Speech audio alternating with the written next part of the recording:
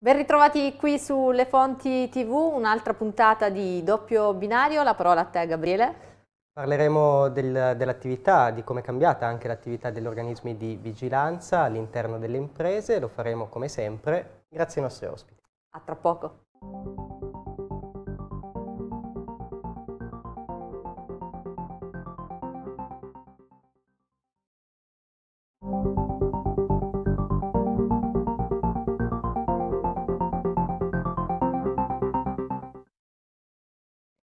Saluto a tutti gli amici di Doppio Binario. Come anticipato in apertura, in questa puntata parleremo di modelli 231 e come è cambiata l'attività degli organismi di vigilanza. Tratteremo l'argomento con i nostri ospiti in collegamento. Inizierei con eh, il dottor Massimiliano Bellavista, partner di Keirion. Ben arrivato.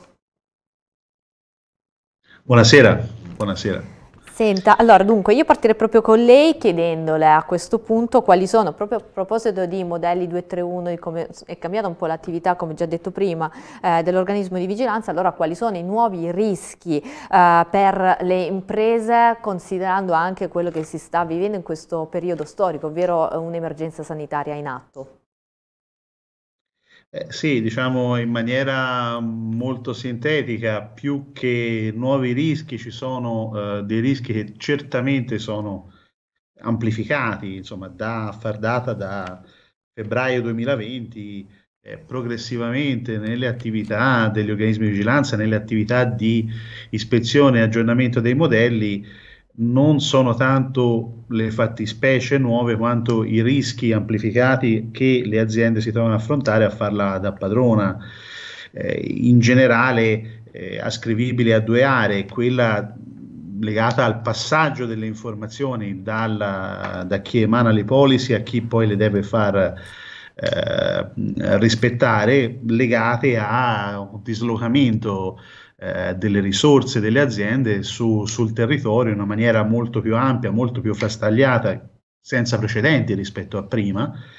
e il che eh, ha comportato e soprattutto comporterà una serie di problematiche mh, del tutto evidenti nella gestione di rischi connessi per esempio, per esempio alla riformulazione e alla gestione di tutta quella che è la parte giuslavorativa, quindi tutta la gestione della, della contrattualistica del lavoro, eh, una parte assai considerevole di eh, attenzione a tutto quello che è l'ambito eh, IT eh, GDPR. Da una parte la sorveglianza e la gestione delle reti aziendali,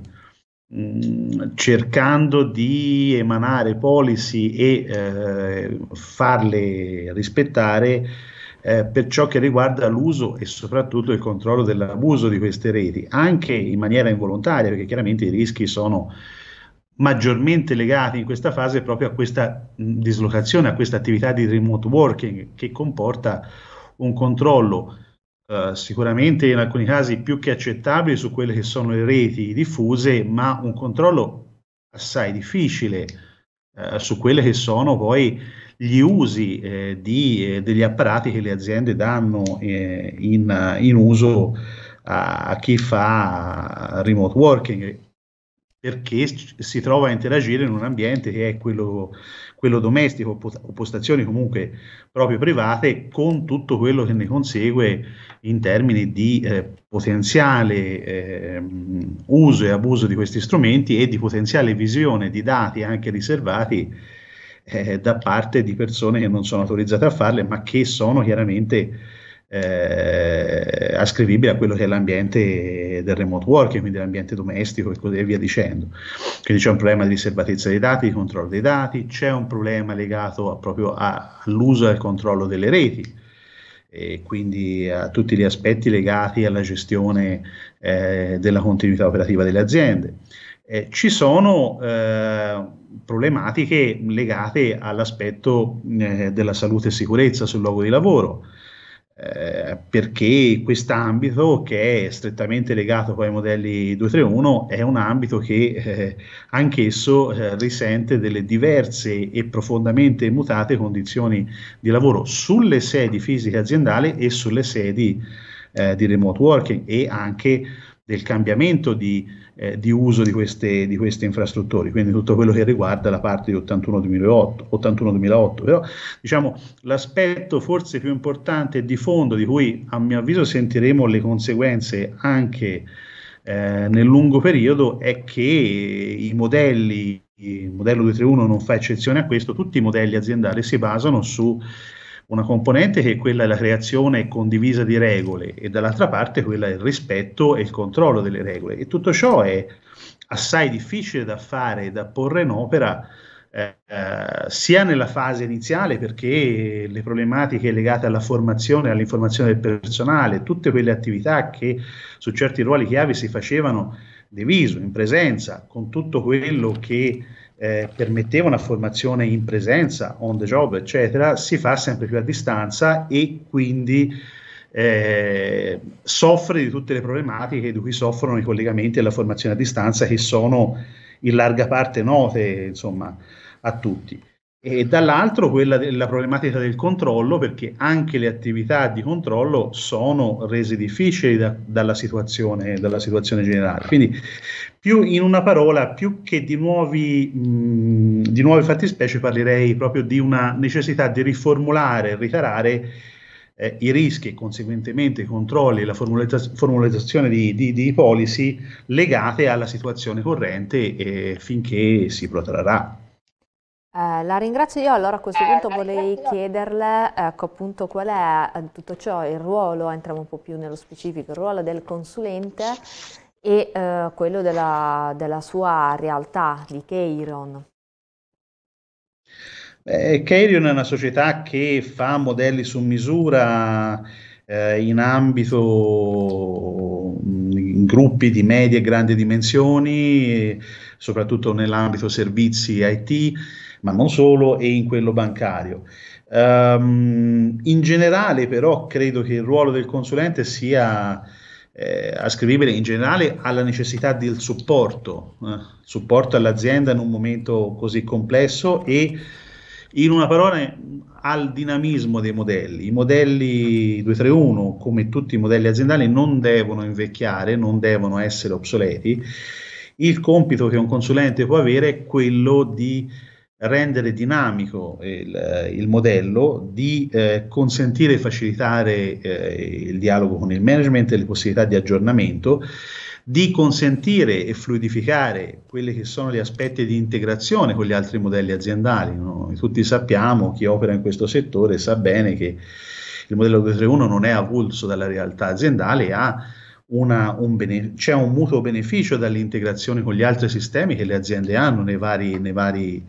ambiti, quindi i modelli che derivano eh, dall'ambito ISO, possiamo citare 9001, 27001, ISO 20000, ISO 22301, tutte le norme di, di specifiche, ma anche tutti gli altri modelli aziendali, sia eh, che riguardino normative cogenti che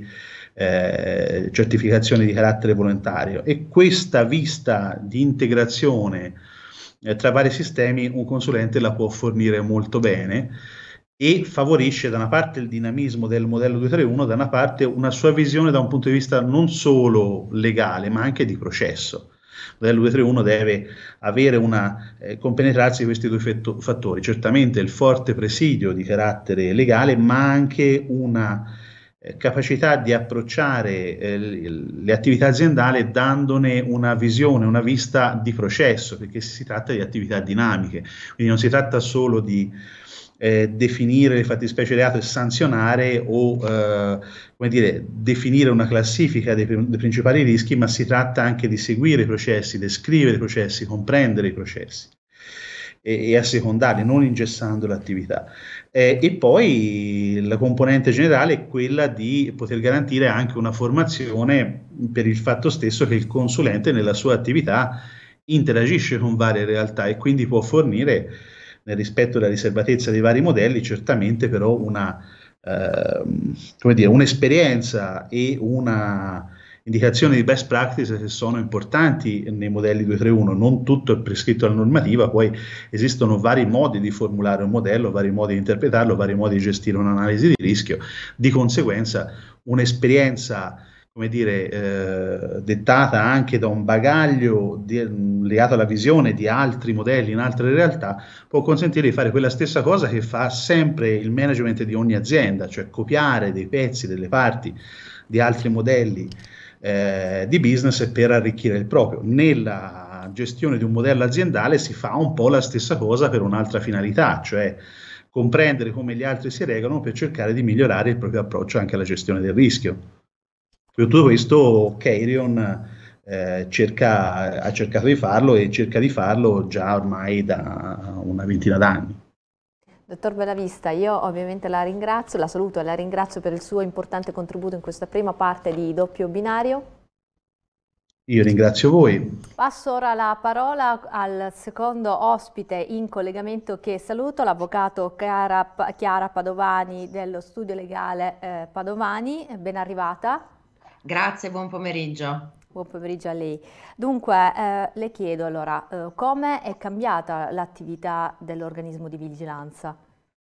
L'attività dell'organismo di vigilanza possiamo dire che eh, sia cambiata sia in termini qualitativi che quantitativi. Qualitativi perché la eh, progressiva introduzione di nuovi reati di particolare complessità tecnica penso dai reati informatici a quelli di cybercrime, da ultimo ai reati tributari, hanno imposto un ampliamento della sfera delle aree di, eh, di controllo dell'organismo e di vigilanza dell'organismo di vigilanza, ma anche una richiesta sempre maggiore di alte competenze in campo penalistico particolarmente specifiche e tecniche. Inoltre, come sappiamo, l'emergenza sanitaria tuttora in atto ha eh, fatto derivare una serie di rischi diretti ed indiretti in tema 231 che mi hanno messo a, dura, a duro banco di prova la resistenza, la tenuta dei sistemi 231 e che ha imposto e che deve imporre correttamente all'organismo di vigilanza una maggiore attenzione ad aree eh, del ciclo passivo ed attivo che mm, in tempi di normalità, come dire, magari non erano direttamente sottoposti alla vigilanza e al controllo dell'organismo. Quindi potremmo dire che le modifiche alla tipologia di attività, alla tipologia di metodologia di vigilanza e di controllo sono profondamente modificate negli ultimi anni e sono ulteriormente modificate in ragione della pandemia, come dicevo, sia sotto un profilo qualitativo, ma anche sotto un profilo quantitativo rispetto all'impegno di tempo, di dedizione che l'organismo deve ovviamente dedicare alla uh, vigilanza al controllo sull'efficace attuazione del modello organizzativo. Eh, a questo punto le chiedo quali sono dunque le caratteristiche peculiari dell'organismo di vigilanza adeguato ai nuovi rischi. Beh, innanzitutto le caratteristiche peculiari sono comunque ancora quelle tracciate dalle direttrici normative e quindi da quelle che sono ricavabili dal combinato disposto di cui all'articolo 6,1 lettere B e D del decreto legislativo 231 del 2001. Quindi ovviamente sul presupposto che la caratteristica principe, principale dell'organismo deve essere sempre la sua autonomia e la sua indipendenza nell'esplicazione dei propri poteri propositivi, consultivi, istruttori e di impulso, a ciò ovviamente si aggiunge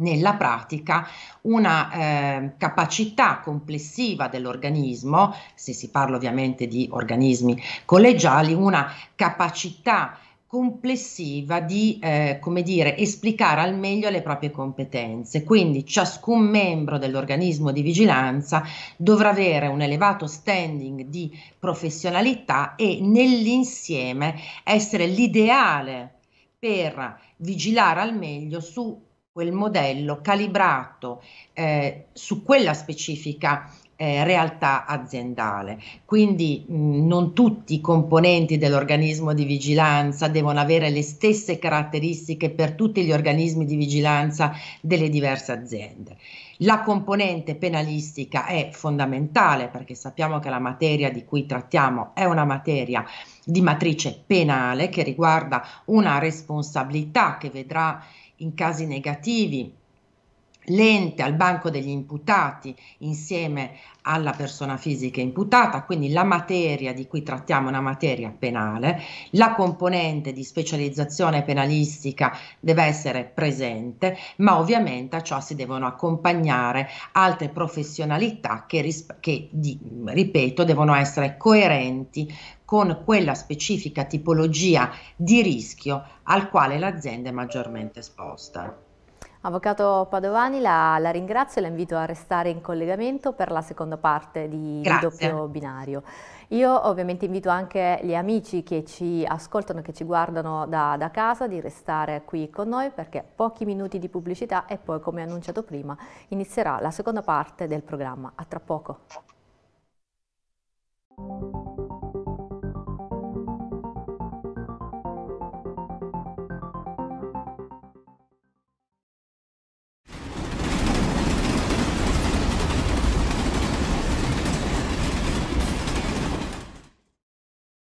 Bentrovati per la seconda parte di Doppio Binario, continuiamo a parlare dell'attività di vigilanza all'interno delle aziende e di come è cambiata questa attività nel corso di questa emergenza sanitaria. Lo facciamo con uh, i nostri ospiti e vi presento uh, prima appunto l'avvocato Sara Citterio, General Counsel di Tussardi. Buongiorno e benvenuta. Buongiorno, ben ritrovato.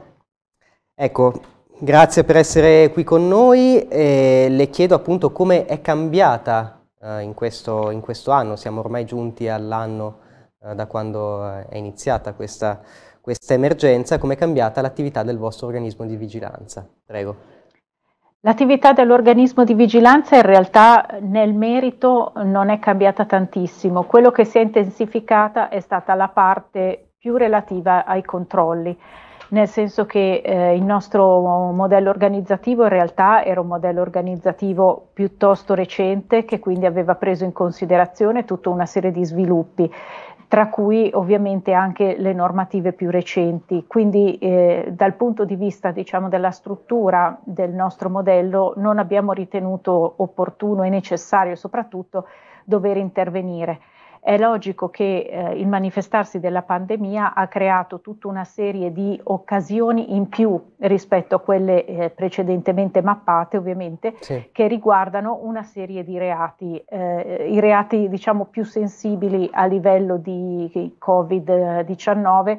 possono essere sia ovviamente i reati legati eh, proprio per anche la situazione emergenziale, la normativa emergenziale che si è verificata, magari maggiori, eh, espo, maggiore esposizione a quelli che possono essere i reati nei confronti della pubblica amministrazione, perché ci sono stati molti più contatti sì. dell'azienda, la nostra, ma penso anche tante altre, sì. per l'ottenimento dei finanziamenti previsti dalla normativa emergenziale. Quindi questo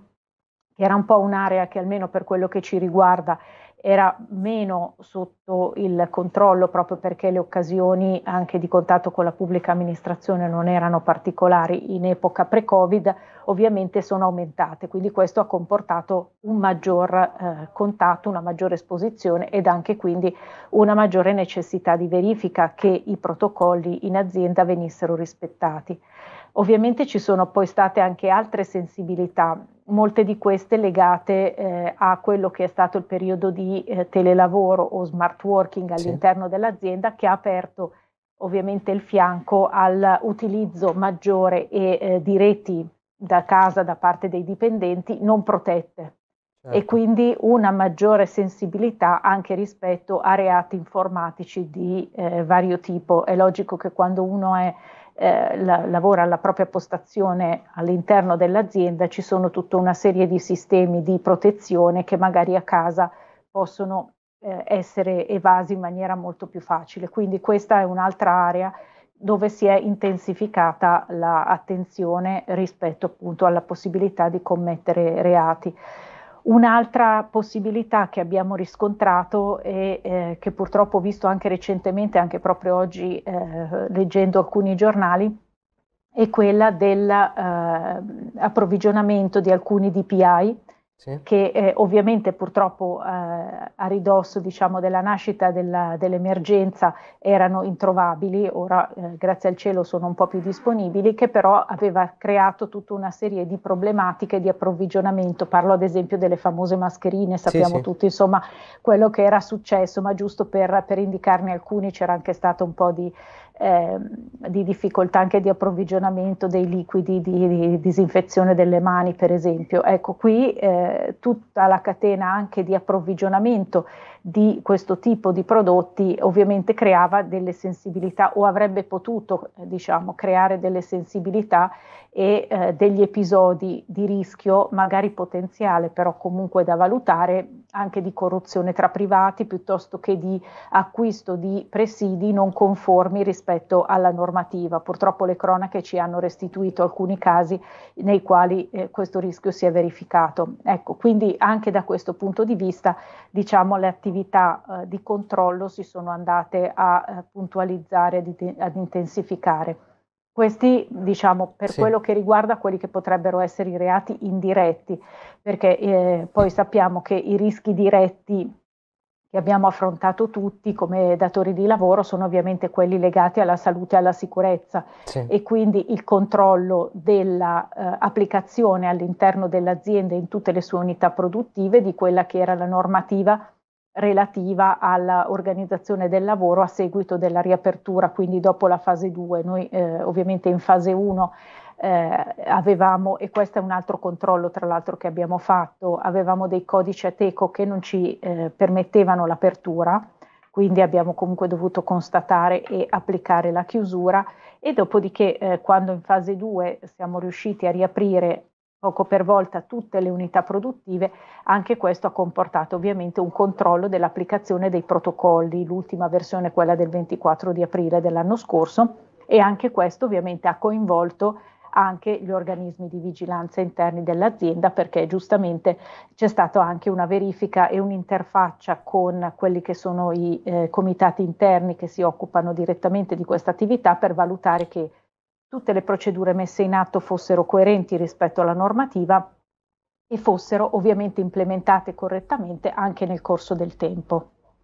Sì, poi tra l'altro, eh, tralasciando il fatto che la normativa non sempre è stata chiara, gli interventi normativi si sono susseguiti spesso in modo, eh, diciamo, caotico e questa è eh, effettivamente una, una esternalità da, da tenere presente. In questo senso le chiedo in che modo eh, visto che non è possibile prevedere quali saranno anche i nuovi rischi, in che modo è possibile avere e costruire un modello che sia il più possibile flessibile e impermeabile a questo tipo di rischi? Purtroppo ovviamente l'impermeabilità è eh, difficile da ottenere, anche perché quello che noi cerchiamo di fare è di minimizzare i rischi. Eh, sfortunatamente, soprattutto appunto quando eh, ci sono eh, modalità di lavoro da remoto, per cui c'è anche meno possibilità di controllo da parte del datore di lavoro, sì. è logico che questo può occasionare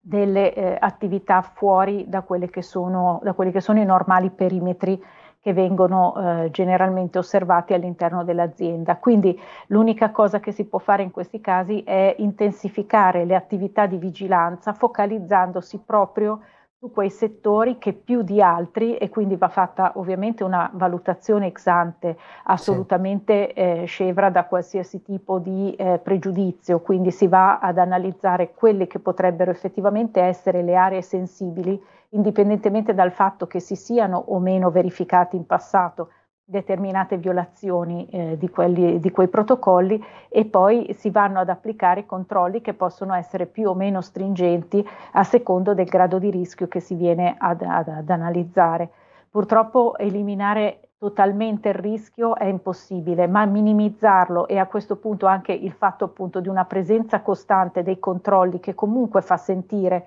la presenza di un eh, organismo che vigila è già di per sé o comunque può costituire un deterrente per evitare che alcuni rischi poi possano trasformarsi in vere e proprie occasioni di reato. Certo, quindi in questo senso l'attività dell'organismo di vigilanza è sicuramente è fondamentale. fondamentale, ha un ruolo decisamente chiave. Avvocato, io la ringrazio per essere stata con noi. Grazie a voi per l'invito. Grazie a lei, l'avvocato Sara Citterio, General Counsel di Trussardi e cedo la parola all'avvocato Chiara Padovani, fondatrice dello studio legale Padovani. Buongiorno, grazie, grazie a voi. Grazie a lei. Ecco, eh, a lei chiedo appunto qual è l'importanza che riveste l'organismo di vigilanza all'interno di un'azienda. L'importanza è centrale, come si evince anche dalla razza dell'intero impianto normativo di quel decreto legislativo 231 del 2001, perché sappiamo dal combinato disposto dell'articolo 6, comma 1, lettere B e lettera D, che è proprio l'organismo di vigilanza a eh, operare anche in chiave esimente rispetto a una potenziale responsabilità dell'ente laddove la funzione di vigilanza e di controllo sull'efficace attuazione del modello sia stata eh, attribuita ad un organismo indipendente, quindi a un organismo di vigilanza indipendente ed autonomo e se l'organismo di vigilanza eh, abbia nel corso del tempo espletato questa attività in maniera densa, concretamente efficace e quindi non rimprover- non, eh, che non possa essere rimproverata in qualche modo in chiave omissiva rispetto a questa vigilanza, all'organismo di vigilanza e quindi all'ente. Non solo, ma eh, questa importanza poi, del, questa centralità del ruolo dell'organismo di vigilanza la desumiamo anche da quelli che sono i poteri concreti che sono attribuiti non soltanto dalla razza normativa, ma anche potremmo dire dalla soft law e quindi dalle varie linee guida e dalle migliori pratiche nazionali. Poteri che sono quelli propositivi, consultivi, istruttori e di impulso che pur, eh, come dire, essendo lontani sia qualitativamente che quantitativamente rispetto a quelli impeditivi, disciplinari o di, diretta, eh, o di diretto potere modificativo del modello, assumono però, come dire, riassumono il cuore del compito di eh, vigilanza dell'organismo stesso. A questa centralità poi oggi si affianca una particolare attenzione che l'organismo deve prestare verso non soltanto la trattazione delle segnalazioni anche in chiave whistleblowing, di cui in alcune realtà aziendali l'organismo è destinatario come canale appunto eh, destinatario delle eh, segnalazioni anche in chiave whistleblowing, ma anche della formazione, quindi della formazione della comunità eh, lavorativa sulle tematiche 231 e soprattutto ovviamente sulla, eh, sulle concrete ehm, realtà dei singoli modelli e quindi dei singoli eh, protocolli di prevenzione in chiave penal preventiva. Certo, ecco, ma eh, vista appunto l'importanza di ehm, appunto, che riveste l'organismo di vigilanza, ci sono a suo avviso dei passaggi cruciali, eh, diciamo così, dei passaggi chiave che l'azienda deve seguire per eh, dotarsi di organismi insomma, adeguati? Se vogliamo riassumerli molto sinteticamente, il primo step è quello di scegliere motivatamente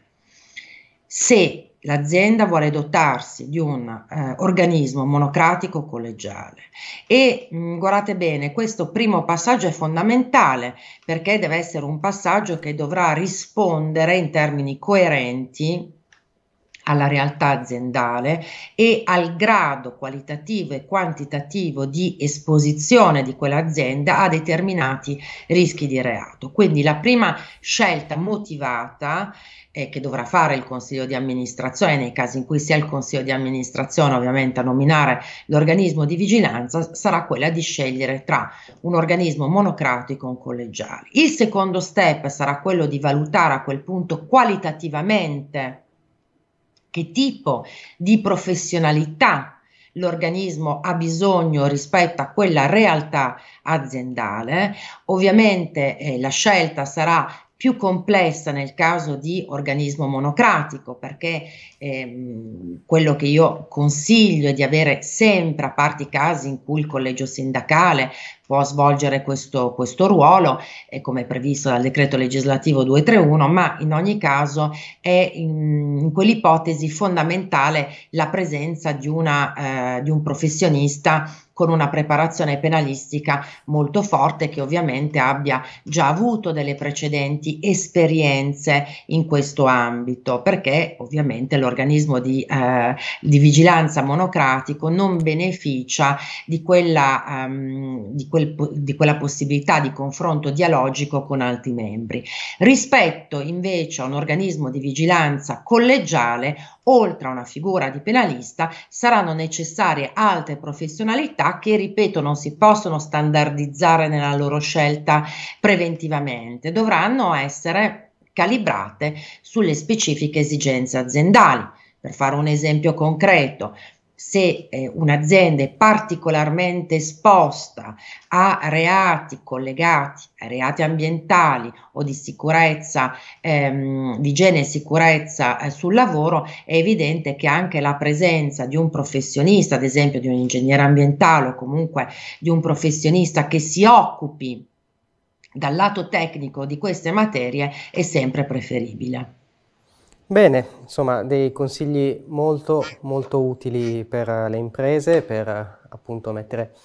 a punto un organismo adeguato. Avvocato, io la ringrazio molto per essere stata con noi. Grazie a lei, grazie a voi e alla redazione. Grazie anche ai nostri telespettatori, appuntamento alla prossima puntata di Doppio Binario.